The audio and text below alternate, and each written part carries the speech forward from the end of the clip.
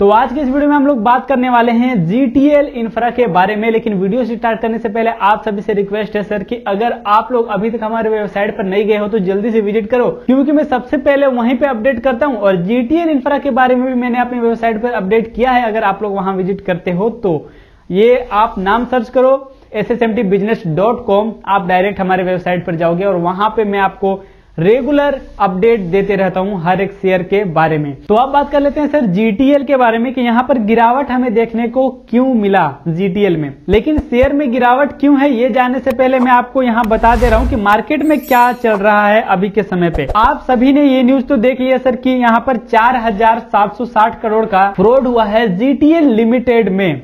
ठीक है? अब एक बात आपको यहाँ पे ध्यान से सुनना होगा। कोई कोई वेबसाइट है, मैं आपको यहाँ नहीं दिखा सकता किसी भी वेबसाइट को कि ये देखिए वेबसाइट है जो गलत कह रही है। ऐसा मैं टारगेट नहीं कर सकता, सर, आप थोड़ा समझे लेकिन आप खुद पढ़ रहे होंगे अभी के समय में किसी का आर्टिकल तो आप देख रहे होंगे, कहीं लिखा हुआ है, GTL limited bank fraud 4760 crore रुपए। जो बैंक फ्रॉड हुआ है, इस टाइप से हेडिंग है।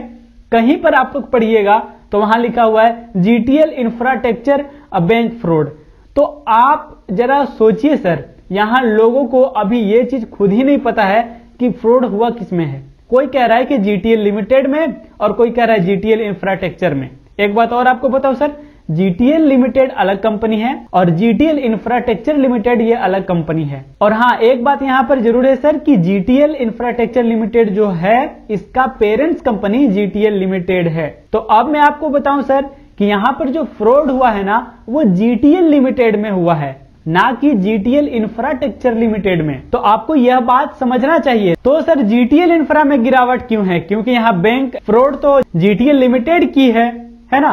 तो गिरावट जीटीएल इंफ्रा में क्यों? तो यही लोग समझ नहीं रहे हैं। और शेयर जो है वो अधिक मात्रा में बेच के निकल रहे हैं। ये एक रीजन है। लेकिन इससे भी बड़ा रीजन है कि शेयर तो तब भी बिक रहा था, सर, जब ये न्यूज़ नहीं आया था। तब तो शेयर में गिरावट नहीं था।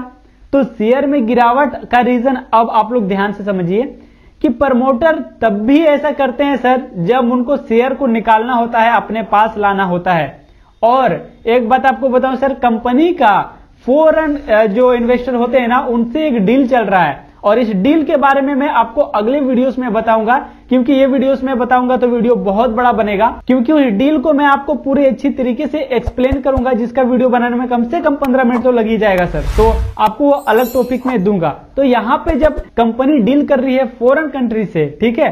तो यहाँ पर गिरावट क्यों? तो गिरावट का रीजन यही है। आपका डर, उनका फ़ायदा, मैं बार बार कहता हूँ। लेकिन एक बात है जीटीएल इंफ्रा में रिस्क है, बहुत ही डूबी हुई कंपनी है। लेकिन इनका जो काम है ना, इस पे हम पैसा लगाने के लिए आपको कह रहे हैं, ठीक है? अब एक बात है, आप पूरा अपना संपत्ति मत लगा देना जीटीएल पे। मैं हमेशा कहूँ, सर, हज़ार से पंद्रह सौ रुपया बहुत है। अब आप लोग दस हज़ार, बीस हज़ार, पचास हज़ार शेयर खरीद के रखे हो तो सर, वो आपकी गलती है। आप इन्वेस्ट करना सीखे नहीं हो। तो मैं यही कहता हूँ, हज़ार से पंद्रह सौ रुपया लगाएँगे, अगर जब पॉजिटिव दिखने लगेगा ना, तब ज़्यादा खरीदेंगे शेयर पहले हम क्यों ज़्यादा पैसा लगा दे सर पर आप समझते नहीं हो, आपको क्या लगता है?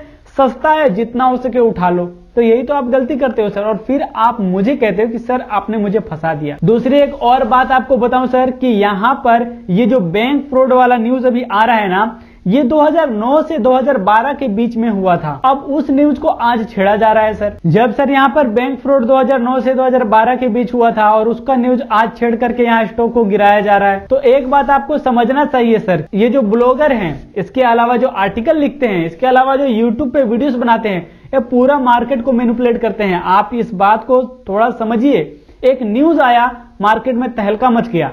एक न्यूज़ आएगा, मार्केट में फिर पॉजिटिविटी बनने लग जाएगा।